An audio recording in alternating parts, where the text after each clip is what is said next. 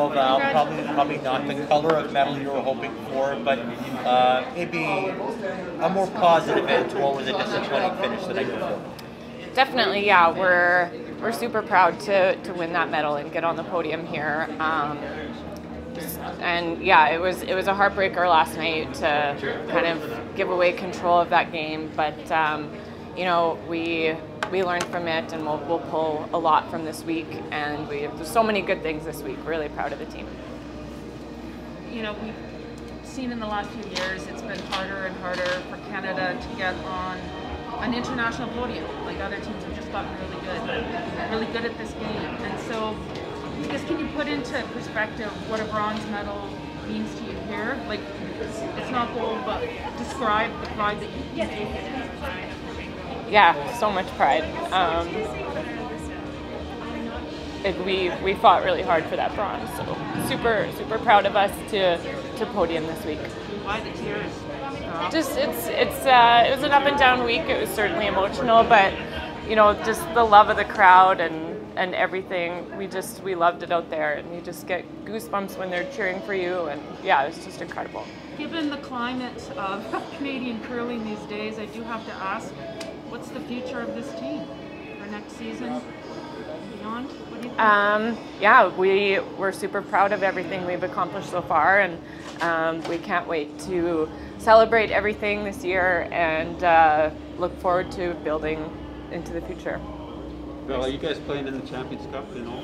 Yep, yep. We uh, we have a bit of a week off or two weeks or something, and then um, we go to Toronto for the Players Championship, and then yeah, we're super excited to finish it off in Alberta at the end of beginning Playing, of May. playing, playing this in Canada, I mean, it, we've always t- talked about, but now that you've won a medal in Canada, what, what does that mean to, to actually win something in your home country? yeah, it's just been a dream, dream dream come true all week being able to play in front of the Canadian fans on Canadian soil. And what makes this team proud of a bronze medal here? Uh, I think you know it's a huge improvement over last year. We felt so much more comfortable here this year, and I think we played awesome throughout the week. And we had a tough loss yesterday, and, and earning a medal today is it means everything to us. And just, I mean, in, in the way that you lost last night's game, was there any discussion going into the extra end, like we need to bear down this time and not lose focus? Uh, you know, not really. I think we just uh, all knew what job we had to do out there, and uh, that was to try and keep the middle open.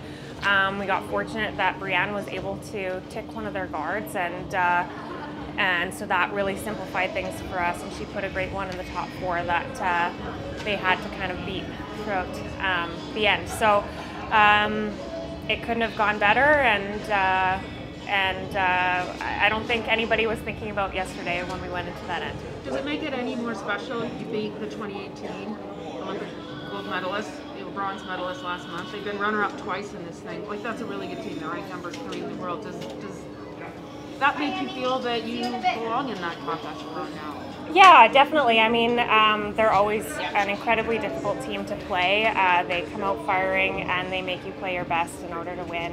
Um, and I think they, they really challenged us today, and it was back and forth. And um, yeah, I feel like we've solidified ourselves um, as one of the top teams out there. Um, and I think we just want to keep getting better and, and keep improving and would hopefully love to get back here and improve on this medal. When you look back at this tournament, once this is over, uh, not just after tomorrow, but in a couple day, a week, whatever, what are you going to take from this experience, and how are you going to kind of maybe put everything in perspective over the course of the entire week? Yeah, I mean, if there's anything I learned over the last two years is perspective. So I think that was key um, after last night's loss um, coming into this game. But I think we're just so grateful to be able to play um, with everything that's going on in the world right now. And um, it was a wonderful event. And um, we are just so fortunate to be here today and have the fans and be in Canada. Can you, uh, how does this team take pride? What makes you proud of a bronze medal in this championship? Canada hasn't got a medal at the Worlds in a while, so it's really cool to get that medal for us. And it was a hard field and a really hard grind of a week, but it was great to come on top with at least a medal to show for it. And leads don't get a lot of love, but that tick shot in uh, the 11th kept the lanes open. Did you feel like, yeah, yeah, um, we were excited to have the opportunity to play the tick shot just because it does help it a lot to keep it open. So yeah, I was hoping I would make it just to make it easier on the girls. Thank Can you. you describe pride that you can take in a bronze medal? What makes you proud of this? Oh, it's an absolute honor to be able to medal at Worlds. And um, yeah, we came here for gold, but um, we're coming home with something. So that's pretty special. And um, it's uh, definitely, and it puts a lot of things in perspective that there is other bigger things that are happening outside this world right now. But uh, we're just super, super grateful and honored to be here. I mean, it's no secret that other countries play this game really well. You just beat the 2018 Olympic gold medalists. They won bronze last month. They're twice the runner-up. They're ranked number three in the world. What does that do for this team?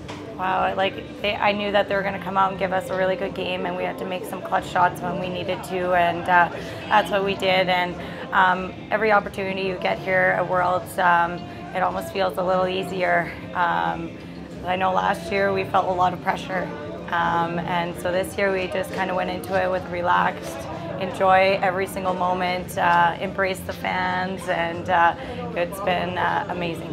You're the ultimate authority on this. What is this team's future going forward? I mean, we've seen teams breaking up and reforming. I know you have a couple more events, but what about next season? Um, we are definitely staying together. um, why uh, break something that is broken? so um, yeah, we've uh, we've kind of talked that over, and uh, yeah, we've had a lot of success, and uh, I absolutely love my teammates uh, on and off the ice, and I think that's what makes us uh, a really good fit for each other. Well, Anna, it was a hard-fought game, a tough way to, to lose and come up empty. Maybe talk about you know the game as well as the tournament in general. Uh, the game, I think we had it where we wanted it. It's just uh, I overthrew two, and that cost us the game. The, my my my last in uh, my last in uh, my last in six and my first one in eight. Like if I make one of those, we're looking good for the win. So I don't know. It's just uh, it's been that for a whole week. I think we have fought very very good and we have had some great games, but. Uh, for every millimeter we have had to fight like all the time so I don't know like uh, it's tough right now but they play, played really really well and uh, we forced an extra and uh, yeah congrats to them